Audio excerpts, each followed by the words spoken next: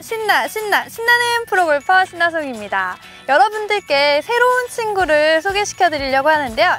바로 이 꼬마 친구입니다. 너무나 귀엽죠? 근데 아직 이름이 없다고 해요. 그래서 여러분들이 이름을 지어주시면 정말 좋을 것 같습니다.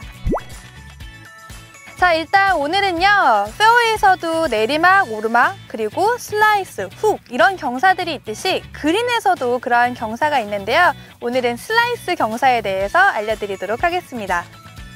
네, 슬라이스 경사에서 만약에 라이를 많이 탄다면 이러한 방법들을 한번 신경을 써보셔야 되는데요.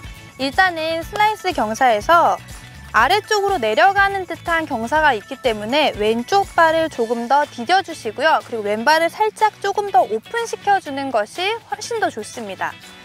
자, 이 상태에서 여러분들이 이렇게 앞으로 이렇게 떨어지는 경사기 때문에 팔로우스루 해서 클럽과 내 몸이 멀어지는 경우가 굉장히 많이 발생해요. 그 이유도 약간 이렇게 내려가는 경사로 인해서 중력 때문에 그런 경우가 많이 발생을 하게 되는데요.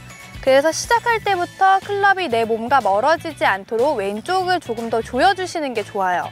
그래서 어드레스 때부터 살짝 이렇게 모아준다 혹은 겨드랑이를 조여준다, 잠궈준다고 생각을 하고 그 상태에서 스트로크를 해주셔야지만 훨씬 더 클럽 헤드를 올바르게 만들어낼 수가 있습니다.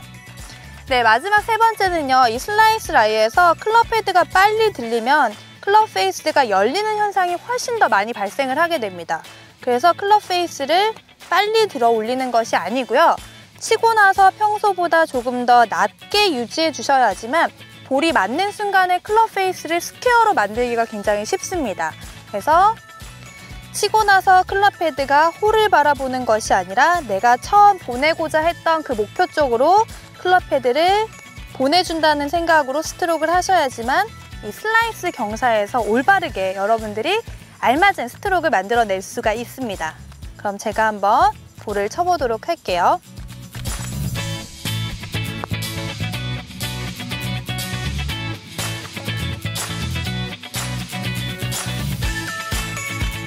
네, 오늘 세 가지 포인트. 첫 번째는 왼발에 체중을 실어주고 그리고 약간의 오픈 스탠스를 취해준다이고요. 두 번째는 왼쪽 겨드랑이를 조아주면서 스트로크 하고 나서 왼쪽 겨드랑이가 벌어지는 것을 방지하자. 그리고 마지막 세 번째는 클럽 헤드가 빨리 들리지 않도록 낮게 유지해줘야지만 슬라이스 경사에서 실수를 줄일 수 있다는 거 꼭 기억을 하시고요. 자 마지막으로 여러분들 이 꼬마 친구 이름이 없는 거 아시죠? 꼭 이름 지어주세요. 예를 들어서 퍼팅 스트로크를 했을 때 클럽 헤드가 이렇게 많이 들리게 되면 들어가네요. 네.